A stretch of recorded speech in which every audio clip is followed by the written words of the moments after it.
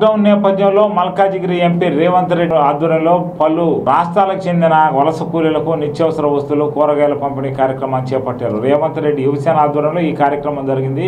పలు ప్రాంతాల్లో వీరు తిరిగి వలస కూలీలను గుర్తించి సహాయాన్ని చేస్తున్నారు.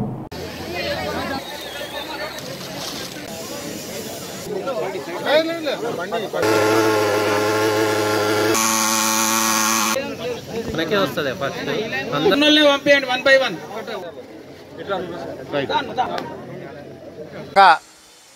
team Revanth పేరు మీద కార్యక్రమాన్ని ఏర్పాటు చేసిన ప్రతి ఒక్క యువమిత్రులందరికీ కూడా పేద ప్రజల తరఫున అభినందనలు తెలియజేస్తున్నా.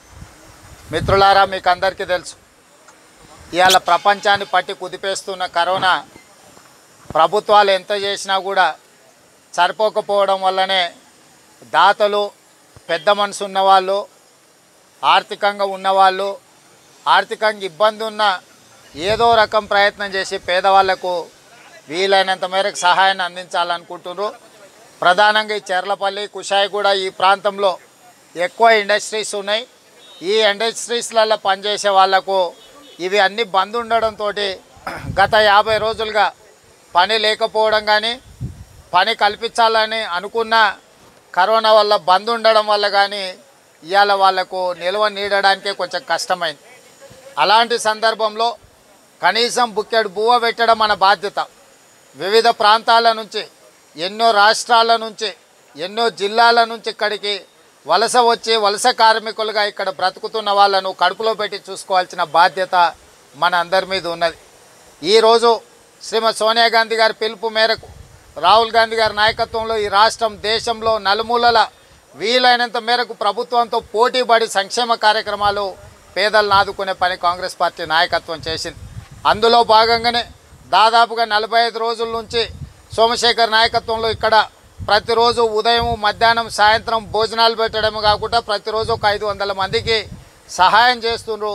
ఇవాళ ఈ కార్యక్రమం ప్రధానంగా ఐదు కేజీల బియ్యం అన్ని రకాల కూరగాయలు దాదాపుగా రెండు వేల మంది కార్మికులకు ఇవాళ ఈ సహాయాన్ని అందించడానికి మన వాళ్ళందరూ కూడా యువమిత్రులందరూ ముందుకు వచ్చిండ్రు.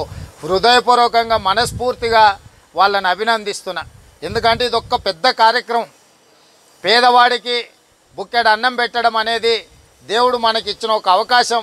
దీన్ని సద్వినియోగం చేసుకొని మన వాళ్ళు వీలైనంత మేరకు సహాయాన్ని అందిస్తారు అయితే ఈరోజు మీడియా మిత్రులు కానీ దేశ ప్రజలు ఆలోచన చేయాల్సింది. కరోనా మహమ్మారి ఎంత సంక్షోభం తెచ్చిందో దానికంటే పెద్ద సంక్షోభం ఈరోజు దేశాన్ని పట్టి పీడిస్తున్నది. అది వలస కార్మికుల సమస్య. వివిధ రాష్ట్రాల నుంచి బీహార్ ఉండొచ్చు బెంగాల్ ఉండొచ్చు ఒరిస్సా ఉండొచ్చు తమిళనాడు ఉండొచ్చు కర్ణాటక ఉండొచ్చు మహారాష్ట్ర ఉండొచ్చు లేకపోతే కేరళ ఉండొచ్చు. వివిధ ప్రాంతాల నుంచి ముఖ్యంగా మన మల్కాజ్గిరి నియోజకవర్గ పరిధిలో కొన్ని లక్షల మంది ఇక్కడ ఉపాధి కోసం వచ్చి ఇక్కడ నివసిస్తున్నారు.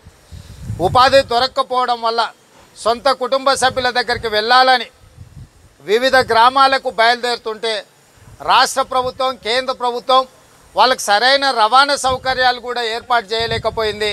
రాష్ట్ర కేంద్ర ప్రభుత్వాలు నిర్దిష్టంగా రవాణా సౌకర్యాలు ఏర్పాటు చేయడంలో వైఫల్యం చెందిండ్రు.